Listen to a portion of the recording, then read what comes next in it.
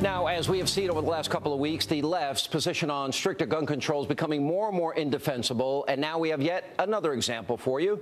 Now, yesterday, Democratic Congressman Jim Moran held a so-called community forum, what he called a, quote, conversation on gun violence. But when Breitbart.com contributor Celia Bigelow asked the liberal lawmaker about why he refuses to be pro-choice when it comes to how a woman can defend herself, well, that put an end to the so-called conversation. Take a look. Why aren't you pro-choice when it comes to self-defense for women? Um,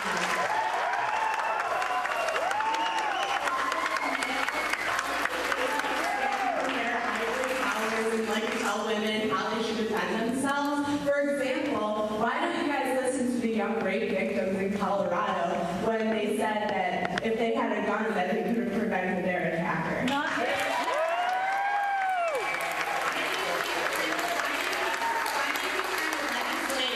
women into being victims. That's all I That gun could have been taken from them and killed them. Why can't you answer? Why can't you answer?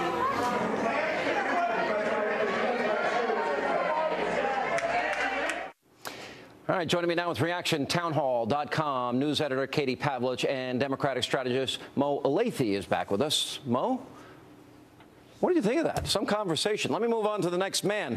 what was it? Let me. I'm moving on to the next question. Well, I mean, I, I don't. I mean, I know Jim Moran. I think he's a good. He used to be my congressman for many years. I, I like him. Um, I don't know why he didn't answer it. What I would have said was, no one's trying to take your right to own a firearm away. What we are talking about, what Congress is talking about, the debate that's on the table, are over certain narrowly defined things like like multi uh, high capacity magazines, assault weapons, and background checks. Right, but you know, one of the problems is none of these politicians know very much about guns. For example, Katie, an AR-15, of which I own three. Um, you can shoot this very, anybody can shoot that weapon. And you can be learned very accurate. It's a good defensive weapon if somebody, God forbid, ever broke into your house. When Joe Biden says a shotgun, some shotguns will take a 100 pound woman and she will go flying after she shoots it. Yeah. So, wh- which gun would you recommend? You, you AR-15. AR-15. Especially when you're defending your property. Now, if you go and take your shotgun on your porch and blow two blasts, like Joe Biden would say, it could land you in jail. Um, but going back to the point that you made about saying that people aren't taking away your right to own a firearm, um, but there, it goes beyond just simply owning firearms. It goes to carrying firearms. And what Celia was referring to was Amanda Collins, who was a rape victim on a college campus, and she was held at gunpoint.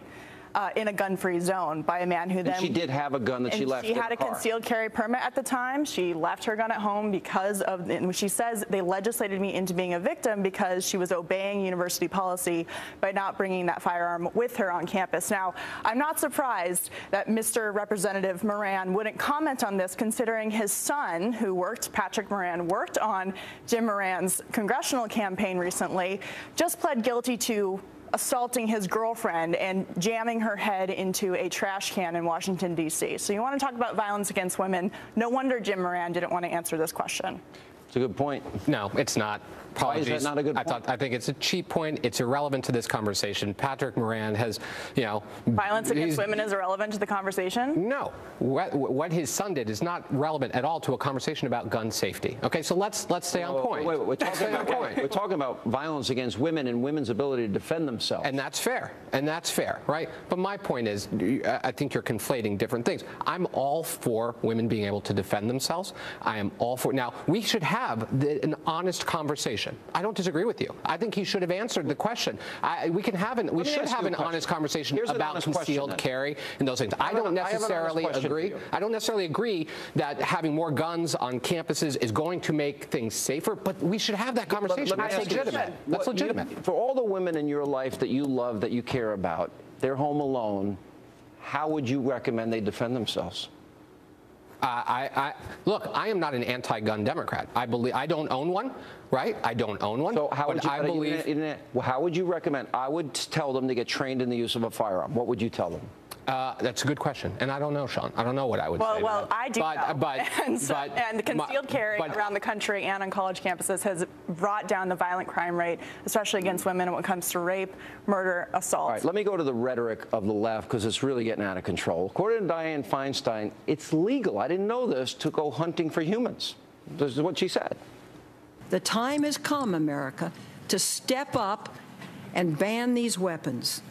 The other very important part of this bill is to ban large capacity ammunition feeding devices, those that hold over 10 rounds. We have federal regulations and state laws that prohibit hunting ducks with more than three rounds, and yet it's legal to hunt humans with 15 round, 30 round, even 150 round magazines. All right, two points here. I didn't know it was legal to hunt humans. Maybe in some parts of the country that I don't know about, but that's number one. But she did say there, ban weapons, which is what I think the goal is. And what if there's a home invasion? Three or four people come in your house, seven bullets in New York, 10 bullets in nationally? May not be enough. Look, the fact is, when you're in a gunfight with bad people, uh, you never say, I wish I had less rounds. And a 30 round magazine is actually standard. Uh, Magpul is going through a huge battle right now in Colorado with them banning 30 round magazines there, which is actually standard in their company. Why is the government of the United States buying up billions of bullets? Do you have any idea? What would be the point of that? Uh, I'm not even sure I know what you're talking about. But here's my point, right? And I'm glad we're having this conversation because when when uh, when these individuals are going into schools with these magazines, these huge magazines, right? They ought. They should not have that Criminals, access to that. You, know, they you should not have internet access you can to you that. can make those magazines.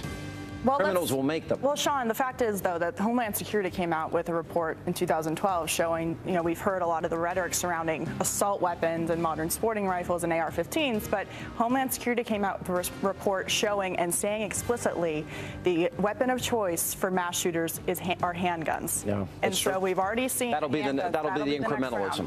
All right, we got to go. Thank you both. Good to see you. Uh, especially against women when it comes to rape, murder, assault. all right, let me go to the rhetoric of the left because it's really getting out of control. According to Dianne Feinstein, it's legal. I didn't know this to go hunting for humans. This is what she said. The time has come, America, to step up and ban these weapons. The other very important part of this bill is to ban large capacity ammunition feeding devices, those that hold over 10 rounds. We have federal regulations and state laws that prohibit hunting ducks with more than three rounds, and yet it's legal to hunt humans with 15 round, 30 round, even 150 round magazines. All right, two points here. I didn't know it was legal to hunt humans. Maybe in some parts of the country that I don't know about, but that's number one. But she did say there, ban weapons, which is what I think the goal is. And what if there's a home invasion? Three or four people come in your house, seven bullets in New York, 10 bullets in nationally? May not be enough. Look, the fact is, when you're in a gunfight with bad people, uh, you never say, I wish I had less rounds.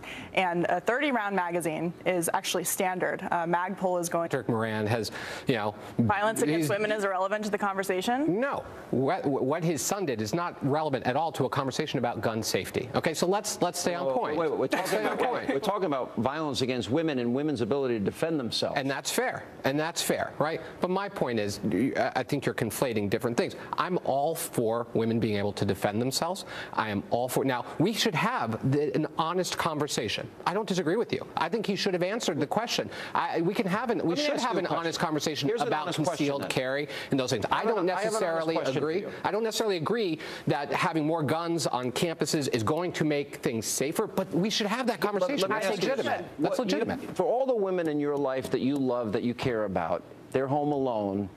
How would you recommend they defend themselves? I, I, look, I am not an anti-gun Democrat. I believe I don't own one, right? I don't own one. So how would you? I but you believe didn't- you didn't- well, how would you recommend? I would tell them to get trained in the use of a firearm. What would you tell them? uh, that's a good question, and I don't know, Sean. I don't know what I would Well, say. to well. I do but, know. But, and, so, but and my- concealed carry but- around the country and on college campuses has brought down the violent crime rate.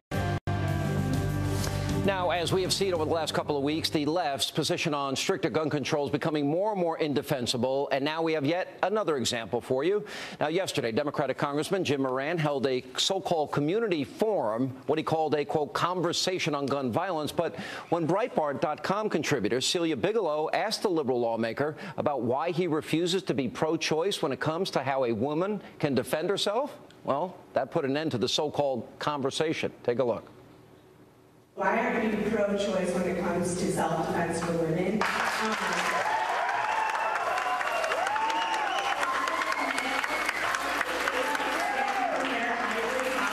like to tell women how they should defend themselves. For example, why don't you guys listen to the young rape victims in Colorado when they said that if they had a gun that they could have prevented their attacker? Not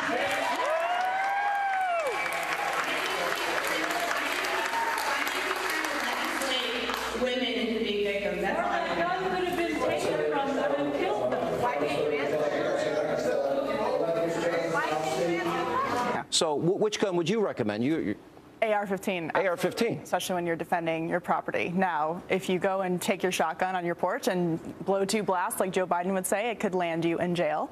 Um, but going back to the point that you made about saying that people aren't taking away your right to own a firearm, um, but there, it goes beyond just simply owning firearms. It goes to carrying firearms. And what Celia was referring to was Amanda Collins, who was a rape victim on a college campus, and she was held at gunpoint.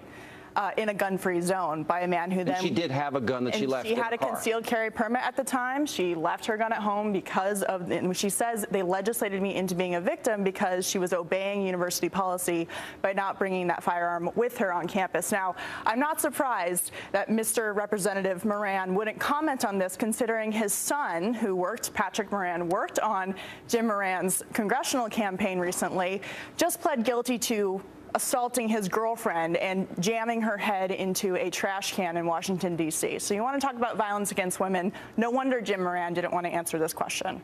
It's a good point. No, it's not. Why is Apologies. that not a good I, thought, I think it's a cheap point. It's irrelevant to this conversation. Pat.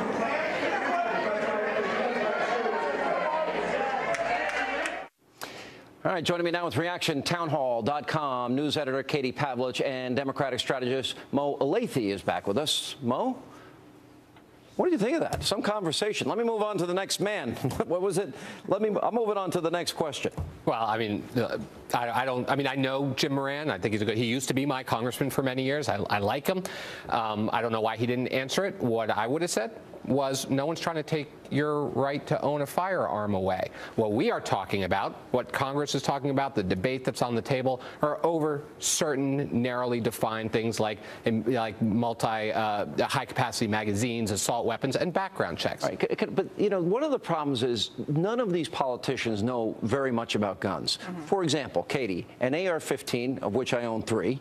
Um, you can shoot this very, anybody can shoot that weapon. Yeah. And you can be learned very accurate. It's a good defensive weapon if somebody, God forbid, ever broke into your house.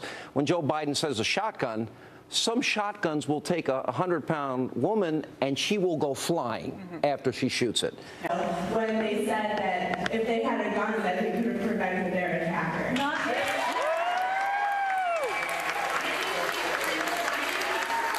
Legislate women into being victims. That's Or all I that want. gun could have been taken from them and killed them. Why can't you offense for women? Um,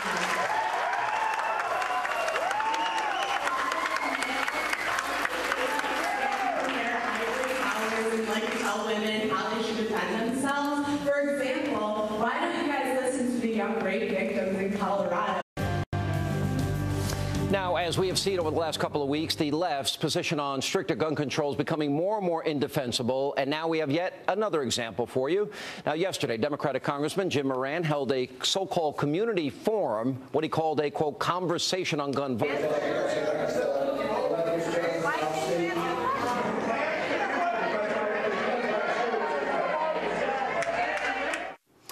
All right, joining me now with ReactionTownHall.com news editor Katie Pavlich and Democratic strategist Mo Elleithee is back with us. Violence, but when Breitbart.com contributor Celia Bigelow asked the liberal lawmaker about why he refuses to be pro-choice when it comes to how a woman can defend herself, well, that put an end to the so-called conversation. Take a look.